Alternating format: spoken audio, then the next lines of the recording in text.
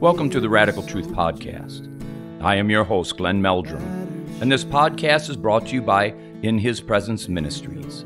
Visit us on the web at www.ihpministry.com. In our last lesson, we studied the birth of Christ according to the Gospel of Luke. We also dug into a good portion of the account where a host of angels visited some shepherds.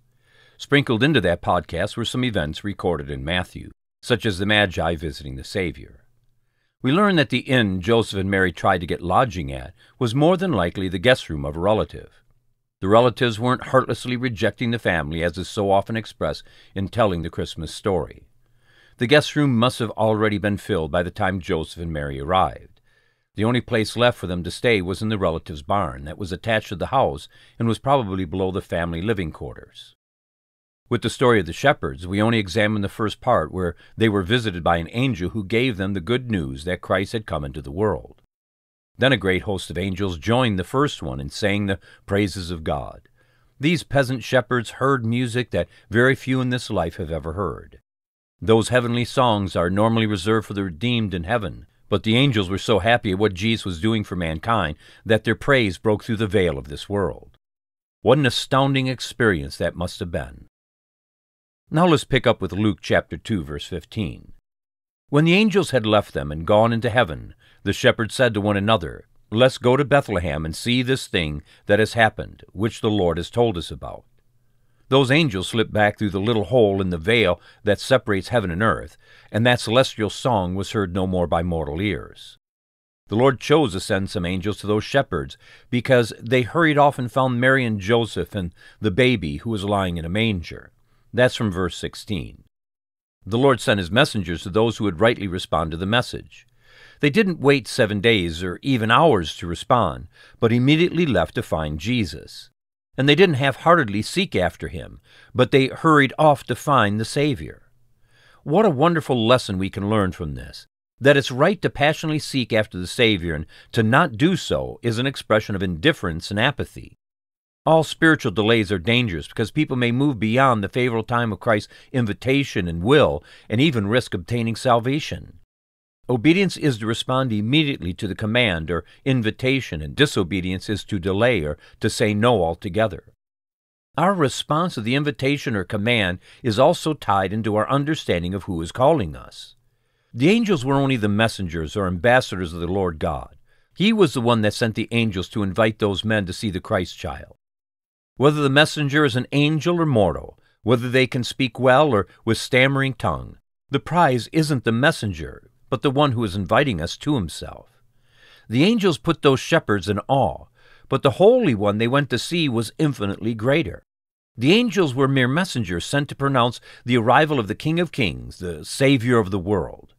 Was it not right for the shepherds to rush after the one who was proclaimed the Savior? And is it not right for us to rush after the one we know to be the Savior that has invited us to seek after him so that we may find him? After the angels left, the shepherds gathered together, eyes filled with astonishment, overcome with awe.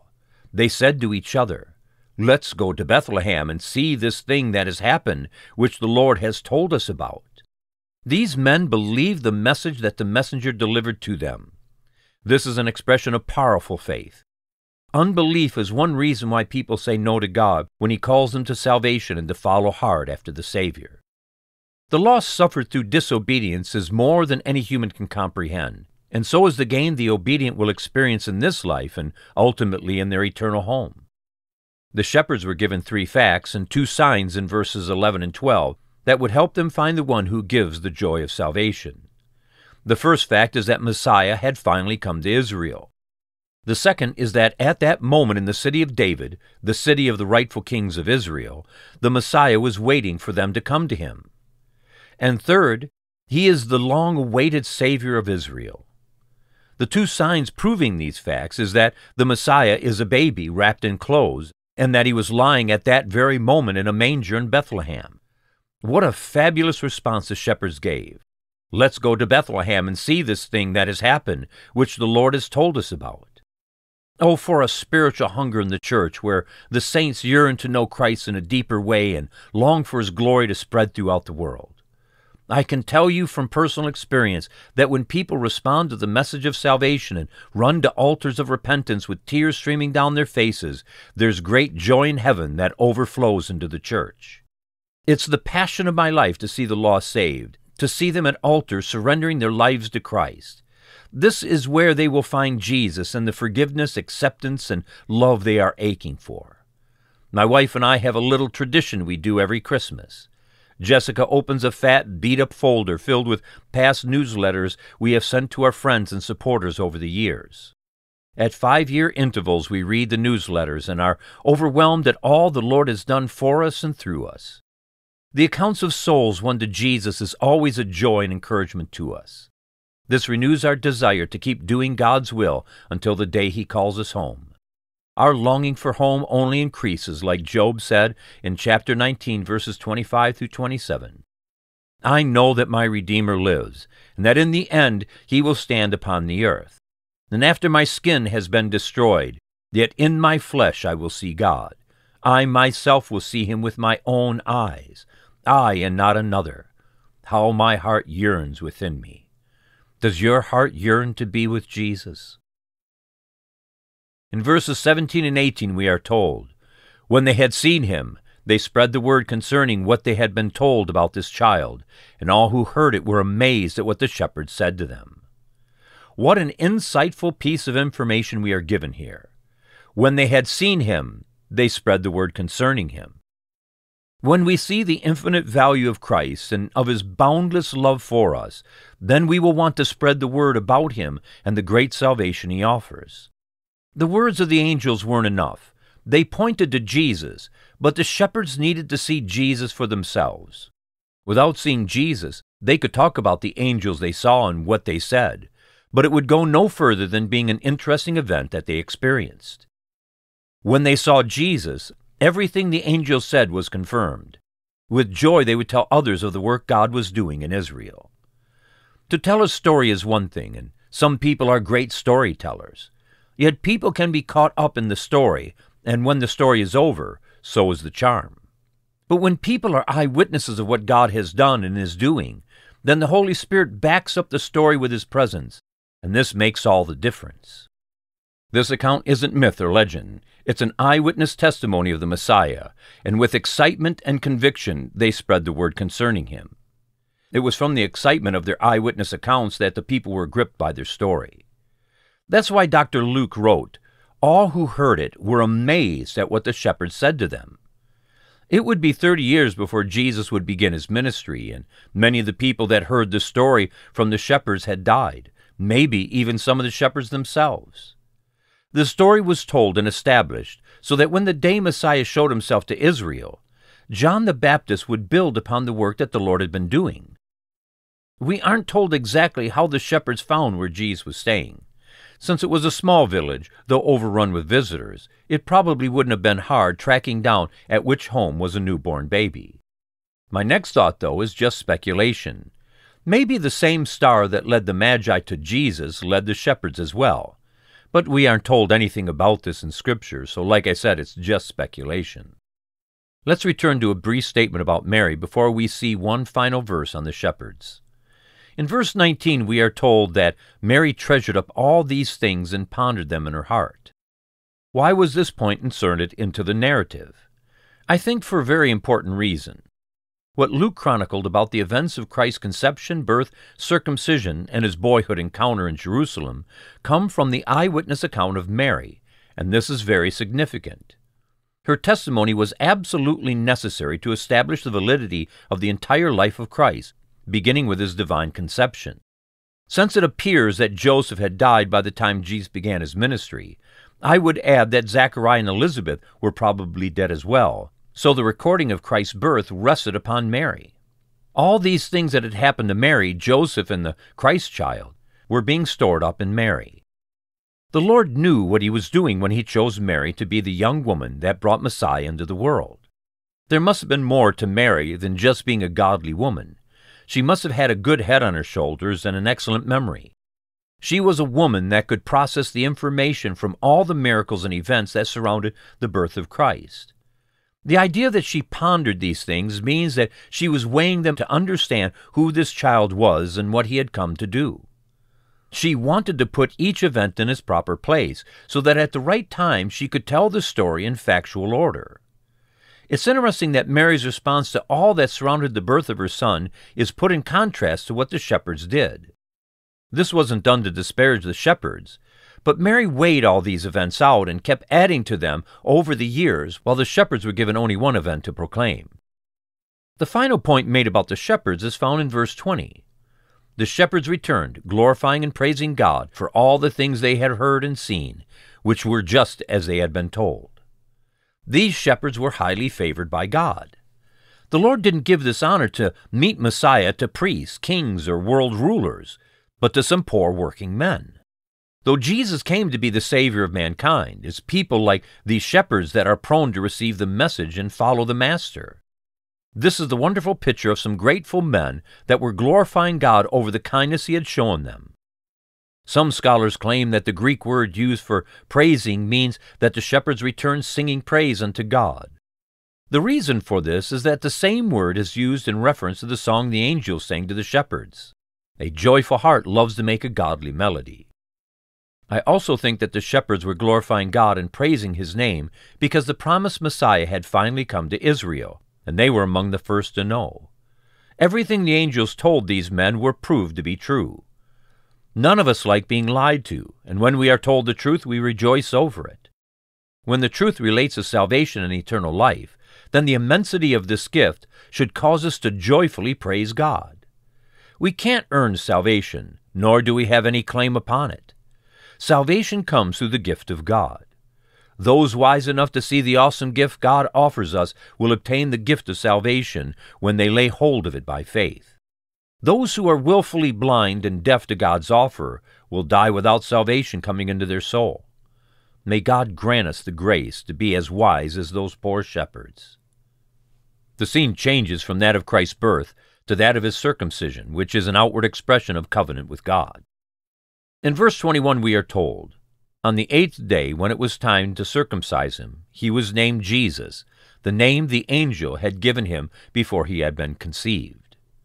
A similar thing happened six months earlier with John, the son of Zechariah and Elizabeth. The angel Gabriel that prophesied the birth of John told his parents what they were to name the child. This happened with Joseph and Mary. When the time came to name the child, they called him Jesus. Just look at how fitting was the name Gabriel told Joseph and Mary to call the miracle baby. Jesus means the Lord saves, or simply Savior. This isn't about giving a child a name that parents like, but his name was a literal revelation of who he is, that Jesus is the Savior. It appears that there were no other family members present at Christ's circumcision, as was the case with John. Since no one objected to the child being named Jesus, it's more than likely that they didn't have any relatives at his circumcision. Joseph had Jesus circumcised on the eighth day according to the command put upon the descendants of Abraham, and this shows the devout life that he lived. Jesus was probably circumcised in the only synagogue that would have been in the small village of Bethlehem. There's a very insightful truth that's found in the circumcision of Christ. Thirty years later, Jesus would stand before John to be baptized by him. John didn't want to perform the act, stating that he needed to be baptized by Jesus, which was true. Jesus told John in Matthew chapter 3 verse 15 that he needed to perform the act to fulfill all righteousness. Jesus wasn't a sinner in need of repentance, so he wasn't in need of water baptism.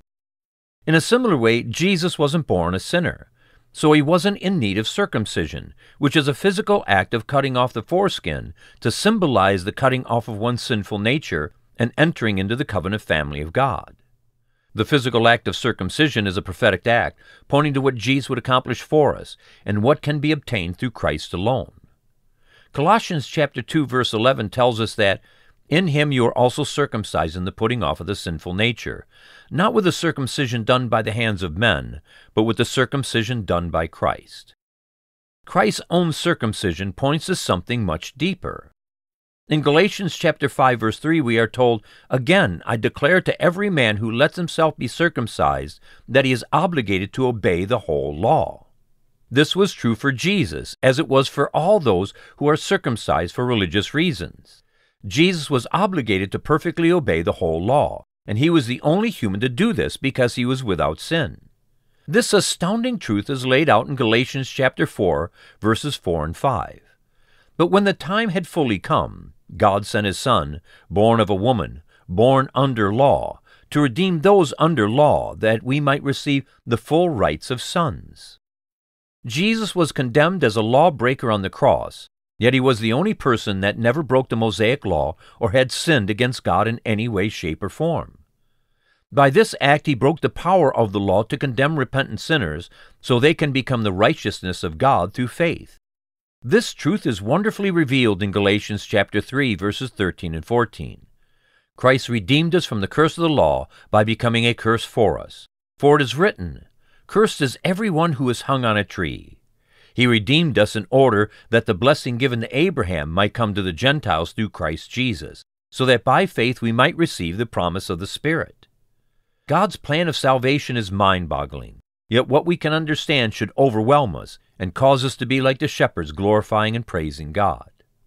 In verses 21 through 24, there are two distinct acts that take place. The first is a circumcision of Christ, which we just looked at, and the second is when Joseph takes his family to Jerusalem to fulfill the requirements of the Mosaic law concerning the firstborn son and his mother. Bethlehem was about six miles from Jerusalem, so for Joseph to take his family to the temple to obey the law's commands wasn't a big hardship. After this event, there's a possibility that the family returned to Bethlehem to let the mother and child grow strong before Joseph took them on the long, hard trip back to Nazareth. Of course, they didn't directly go back to Nazareth.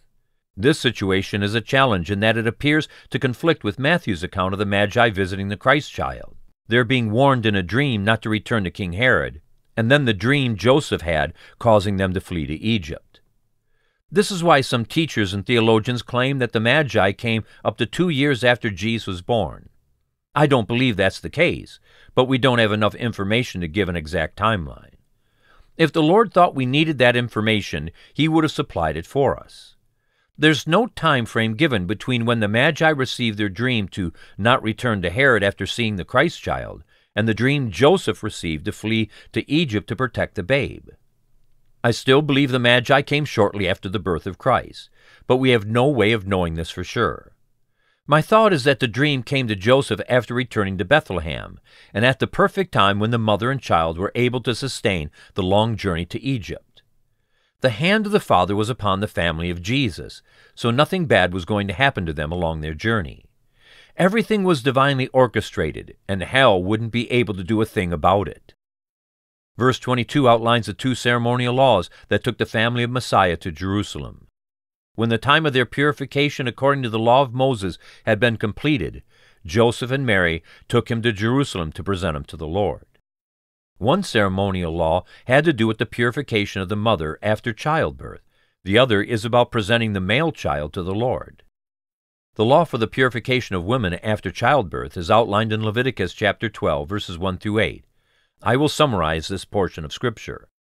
When a woman gives birth to a son, she becomes ceremonially unclean for 7 days. On the 8th day the boy is to be circumcised. Then the woman must wait 33 days to be purified from her bleeding. During this time she must not touch anything sacred or go to the sanctuary until the days of her purification are over. If a woman gives birth to a daughter, everything is doubled. She will be unclean for two weeks instead of one, and must wait 66 days to be purified from her bleeding instead of 33 for a male child. When the days of her purification are over, she is to bring to the priest at the entrance of the temple a one year old lamb for a burnt offering and a young pigeon or dove for a sin offering. These are to make atonement for her being ceremonially unclean from her flow of blood. If the family is poor and cannot afford a lamb, she is to bring two doves or two pigeons, one for a burnt offering and the other for a sin offering. In this way, the priest will make atonement for her, and she will be clean.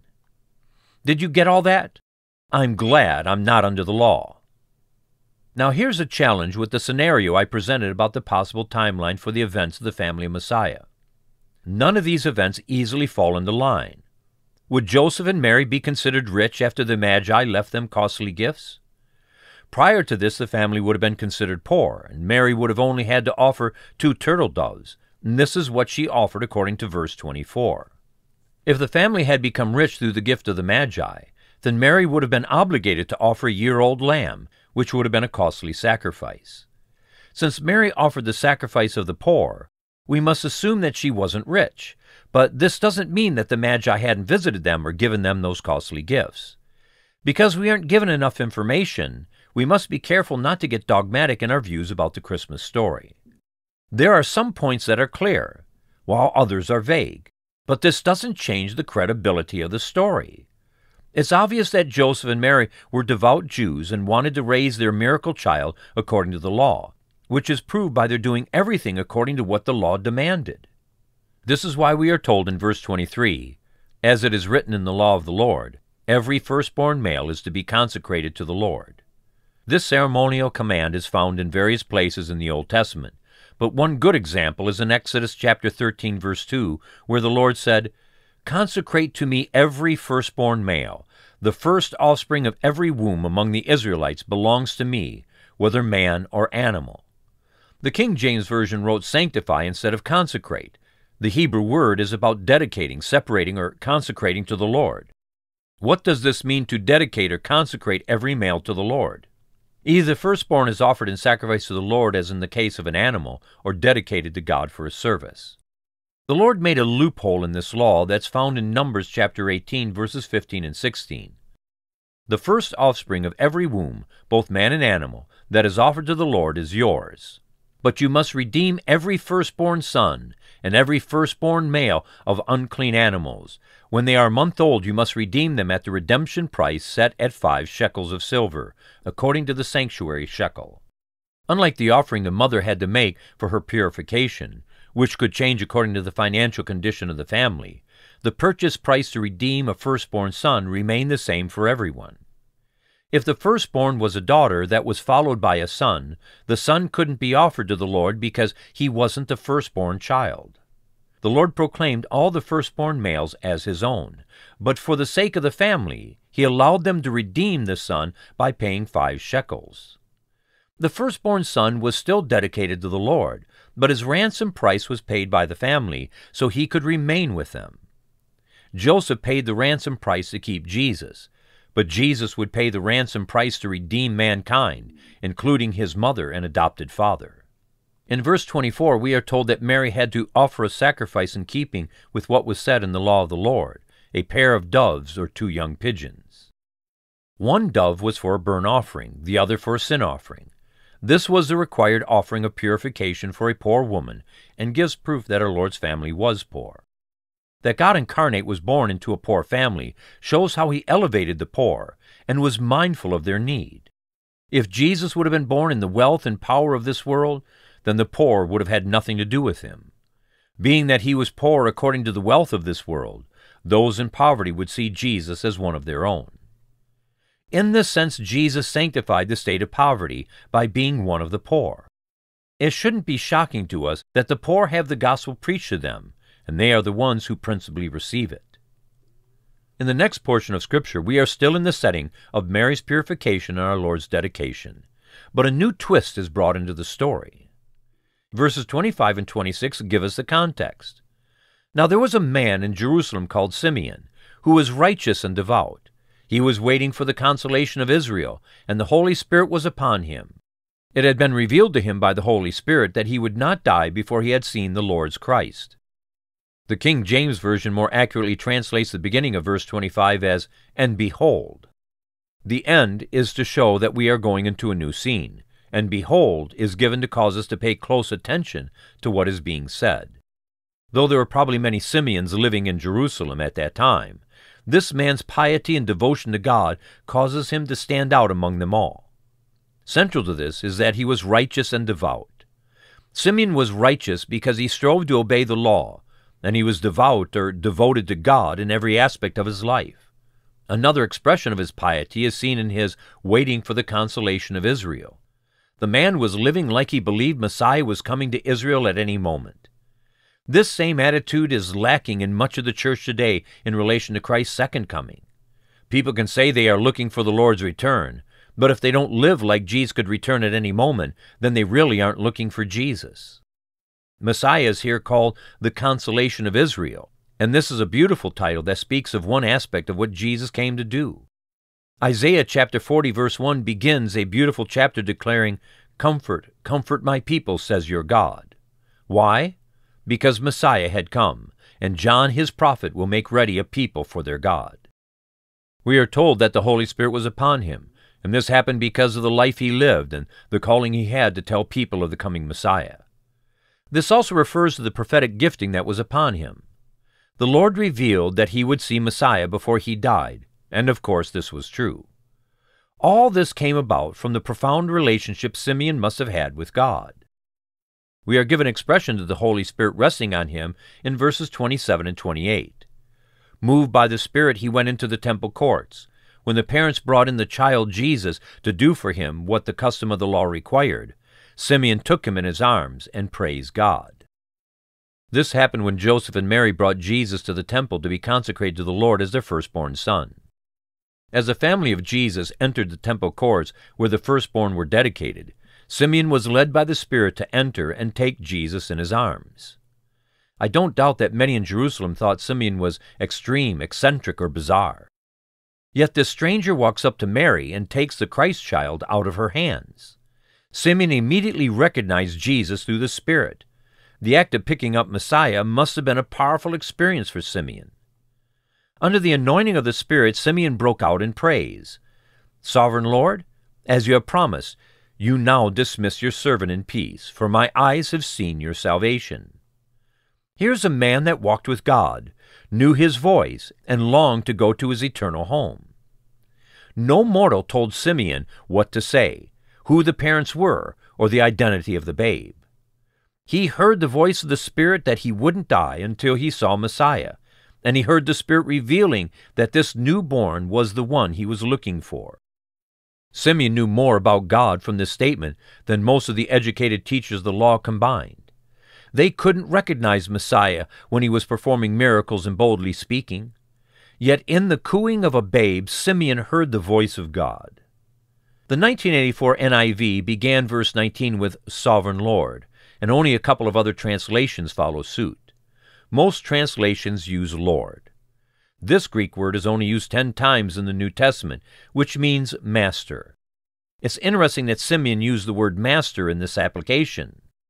Since the Lord had fulfilled the promise, he told Simeon that he wouldn't die until he saw Messiah. He was now waiting for the Master's word to come home. He had literally seen God's salvation. Simeon called the Christ child our salvation. This is who he is, not just something he does. Jesus declared that he was the way, the truth, and the life. These aren't merely things that Jesus gives, but they are revelations of who he is and what he offers. He is the way, for there's no other way to salvation than through him. And he is the truth, so that he only speaks the absolute truth and He is the life for every living thing that has life because He allows it, and this includes those who will have His eternal life. In the same way, Jesus is salvation. Anyone who wants to be saved can only be saved through Jesus, for He is salvation, and when we have Jesus, we have His salvation. Thank you for listening to The Radical Truth with your host, Glenn Meldrum. We at In His Presence Ministries pray that this weekly podcast will be a blessing to you. Please tell others about it and subscribe yourself to this free podcast. Don't forget to visit our website at www.ihpministry.com. See you again next time, and may God richly bless you as you seek Him in spirit and in truth. Thirst no more, so come wash in the river. Come drink your fill. Let healing water.